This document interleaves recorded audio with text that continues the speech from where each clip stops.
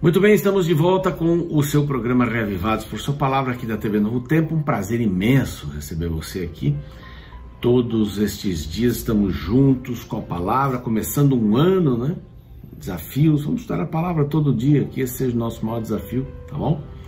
Hoje vamos estudar o capítulo 13, é um capítulo que apresenta as duas bestas, uma que emerge do mar, outra que emerge da terra. Eu quero dizer que o, problema do pecado é a adoração.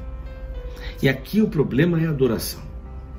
Capítulo 13, o problema é adoração. Capítulo 12, nós encontramos o grande conflito, baseado em quem adorar.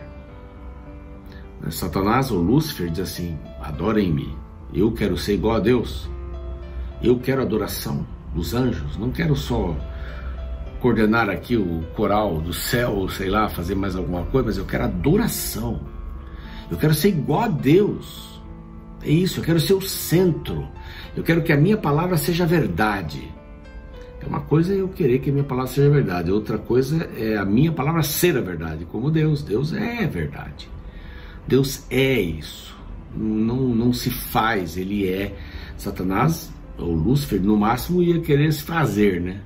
E quando o ser humano quer dizer a verdade, ele não tem verdade inerente. A verdade vem de Deus, da palavra de Deus. Por isso que a, a mulher é apresentada em cima de alguma coisa, baseada em alguma coisa.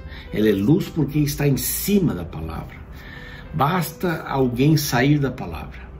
Basta alguém sair da palavra. Ken Wright foi um, um grande pregador. E um dia ele disse assim, lá nos Estados Unidos, para o seu amigo, ele falou assim, puxa, se a nossa mensagem não fosse tão impopular, né? Eu seria um grande homem. Eu seria um grande homem. Eu vou pregar uma coisa mais popular. Ele pregou, não foi nada pregou dele, o que ele achava. Então, pregar a palavra. Sempre pregar, pregar a palavra. E adoração, tem a ver com adoração.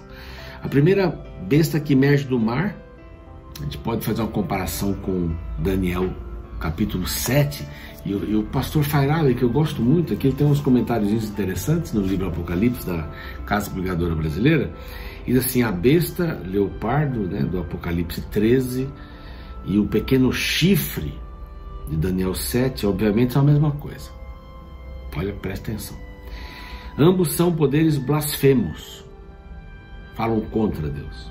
Ambos fizeram guerra com os santos e o fazem, e o que faz deles poderes perseguidores. Ambos são perseguidores. Ambos têm uma boca que profere blasfêmia, mentira. O chifre pequeno vem de Roma pagã, vem do Império Romano, que é um poder de Roma uh, espiritual, né? o Roma igreja. A besta do Apocalipse se levanta ao mesmo tempo porque o dragão, a Roma pagã, dá-lhe poder, trono e autoridade. Em 538, Justiniano diz que Roma tem o primus inter pares, o primeiro entre os iguais. Ele vai coordenar a igreja cristã no mundo. E aí começa um poder que acaba em 1798, conforme nós temos visto aqui, né? O chifre pequeno, então, a besta do Apocalipse 12, se levanta ao mesmo tempo, porque o dragão, a Roma pagã, dá-lhe poder. Quinto ponto. A ambos é dado poder para que continuem por três anos e meio, 42 meses, 1260 dias. É, período que eu falei do 1798.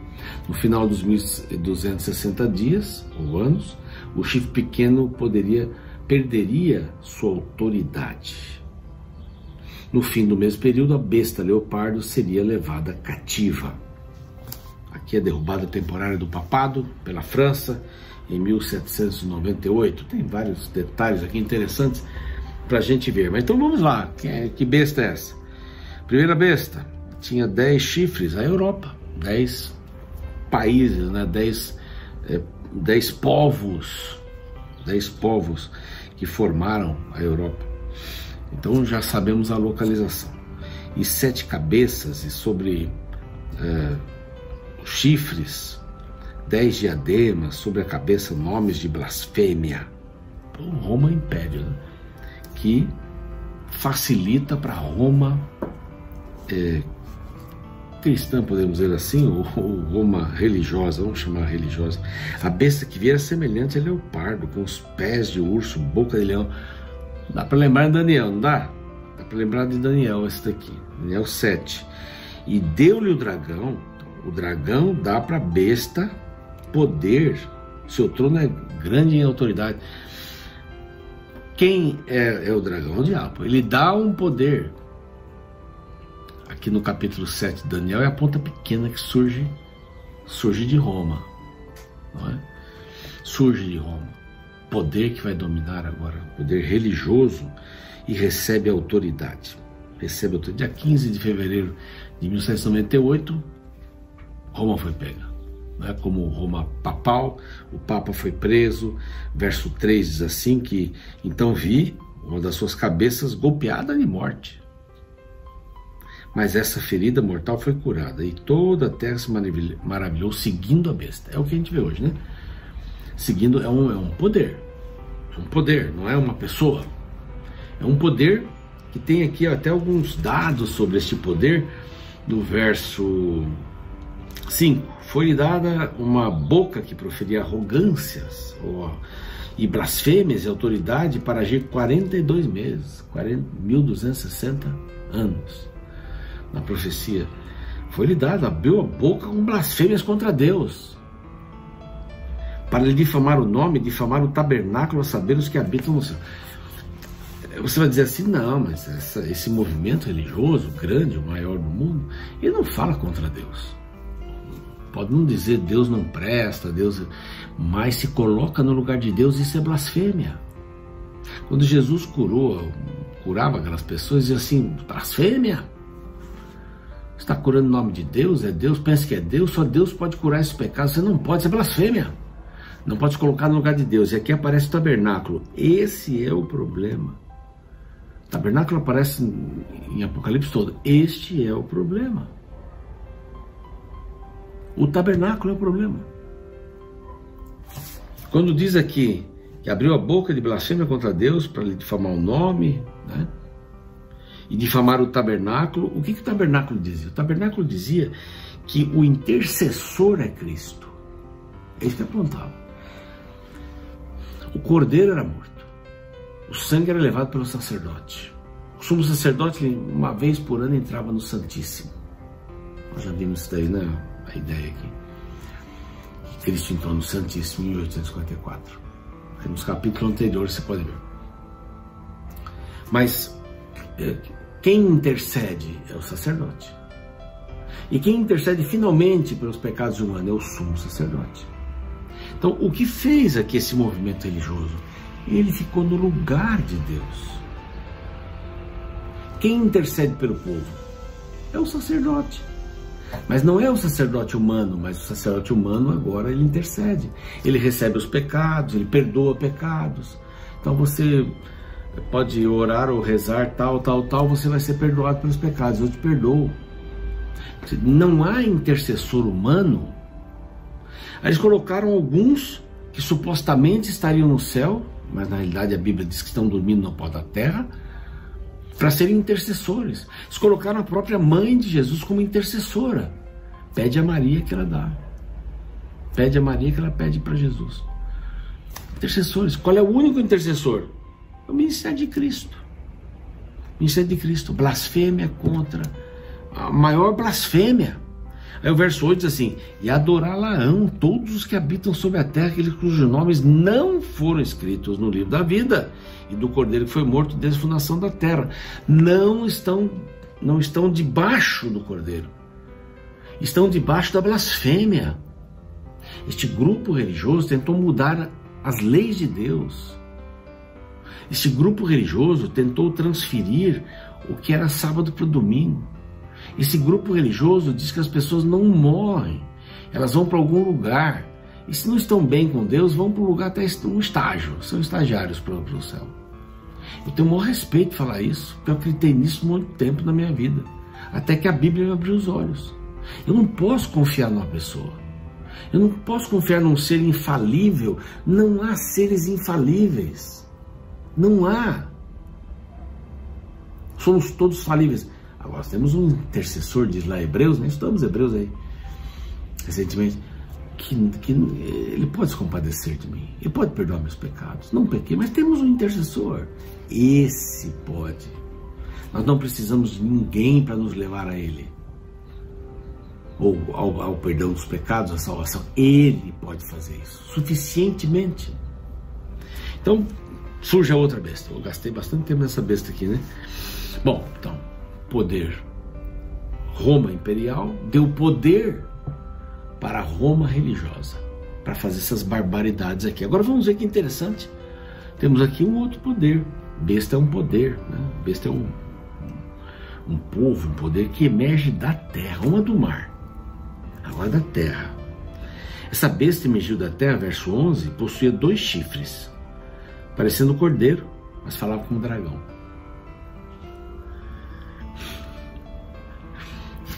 Dois chifres, como cordeiro, falava, mas parecia um dragão. Muitos enxergam nessa profecia aqui os Estados Unidos da América do Norte. Isso é uma profecia. Não aconteceu ainda. Não aconteceu. Mas a segunda palavra vai acontecer. Falava como um dragão, mas parecia um cordeiro. Os Estados Unidos recebeu a igreja que fugia, a mulher fugia. Né? Liberdade religiosa. Agora você está vendo que está tá diminuindo isso, não está? Você que acompanha, tiraram os crucifixos das, dos hospitais, das escolas.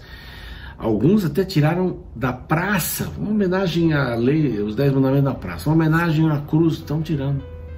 A Europa já tirou tudo isso. Você não pode usar uma camiseta fazendo uma, uma propagação de uma mensagem cristã. Pode fazer qualquer outra besteira aqui.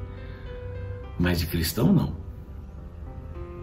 Então qualquer um pode ser qualquer coisa. A França, daqui a uns anos, vai ser muçulmana. Vai ser muçulmana. Já está crescendo isso. Interessante. Perdeu. Perdeu completamente o rumo. vamos falar aqui dessa besta que emerge do mar. Ela dá autoridade à primeira besta. Ela dá autoridade. Ela leva. Então aqui, ó, exerce toda a autoridade da primeira besta na sua presença faz com que a terra e os seus habitantes adorem a primeira besta, leva a primeira besta, cuja ferida mortal fora curada. Pronto, está curada, está forte. A igreja romana ficou forte de novo. Dá pitaco em tudo que acontece no mundo. Quer falar em nome do cristianismo. E vai receber poder da, da, desta segunda besta, que é, segundo alguns historiadores aqui, alguns pesquisadores, que é os Estados Unidos também opera grandes sinais para fazer fogo do céu. Aí você vê aí um pouco de espiritualismo, né? Seduz os que habitam, verso 14, sobre a terra por causa dos sinais. A muitos tem sinais, né? Tem denominações que trabalham só em cima de sinais. Dizendo os que habitam sobre a terra que faça uma imagem à besta, aquela que foi ferida, a espada e sobreviveu. E lhe foi dado comunicar fôlego à imagem da besta. Para não só a imagem falar, como ainda fizesse morrer quantos não adorassem a imagem da besta. E aqui vem um outro negócio interessante. Todos vão receber. Isso é o fim, hein? Isso é o fim, de 1798 para o fim. Então todos os pequenos, grandes, ricos, pobres, os livres escravos, faz que seja dada certa marca sobre a mão direita e sobre a fronte.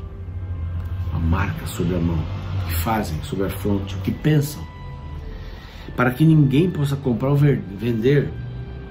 Isso aqui não é um chip, é uma marca. Que marca que é essa?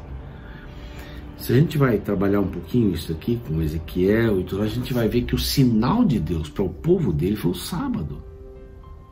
A gente tem que ter mais tempo para falar sobre isso, mas dá uma olhadinha lá, Ezequiel. É o sábado. Eu, e, e, qual é o, é, o, é o contrassenso do sábado foi mudado pela imagem ou pela besta que surgiu do mar? Sábado para o domingo. Não tem base bíblica nenhuma isso. Não tem base bíblica. Pode procurar, falar a palavra hebraica, grega, pode mudar. Não tem base. A Bíblia é só ler a Bíblia. Claramente você encontra oito passagens no Novo Testamento falando sobre o primeiro dia de semana. Nenhuma delas manda guardar. Quem mandou? O líder da igreja romana. Ele tinha autoridade dada por quem? Pela, por Roma é, Império. só podia ser por Deus. Então vem novamente a questão da adoração, verso 18, para a gente terminar aqui. Aqui está a sabedoria, aquele que tem entendimento, calcule o número da besta, pois o número de homem é número de homem e é 666. É, quando Nabucodonosor mandou fazer a estátua, ela tinha 60 por 6. 6 é um número de homem, 7 é o número de Deus, 8 é o número da vitória. Aqui é um poder, é um poder baseado na humanidade, buscando adoração para si, na humanidade. A gente vai dar uma continuidade aqui no capítulo 14, falando sobre isso, mas para a gente terminar tudo aqui agora. Besta que emerge do mar, sai de Roma imperial para Roma religiosa. É Roma religiosa. Foi ferida em 1798, se recuperou. Agora a, a besta que emerge da terra, sai da terra, que possivelmente seja os Estados Unidos, que vai dar poder para ele estar, estar se juntando. Não adianta aí tirar uma foto do presidente dos Estados Unidos com, com o líder romano, ah, então vai mudar. Não, isso já, já teve um monte de fotos. Não vá atrás disso. A hora que mudar, mudou. Não fica procurando chifre na cabeça de cavalo, né? Que falam de chifre. Não, a hora que mudar, mudou. Faça o quê? Pegue a Bíblia, estude a Bíblia. Obedeça a palavra de Deus na Bíblia, mais nada. Não tem interesse de mais nada não ser obedecer a palavra de Deus. E aí você vai saber o que é certo e o que é errado. Vai receber o sinal de Deus, que é dado só na testa, não é dado na mão. Isso aparecer aqui em, em Apocalipse. Amanhã é o 14. Vamos fazer uma oração? Pai querido, pedimos a tua bênção, que não sejamos enganados. Nosso grande objetivo não seja ficar procurando detalhes, não. Estudar a palavra. Descobrir qual é a tua verdade, qual é a tua vontade e colocá-la em prática em nossa vida. Abençoa-nos, Senhor, hoje que esse estudo possa nos fazer acordar. Em nome de Jesus, amém.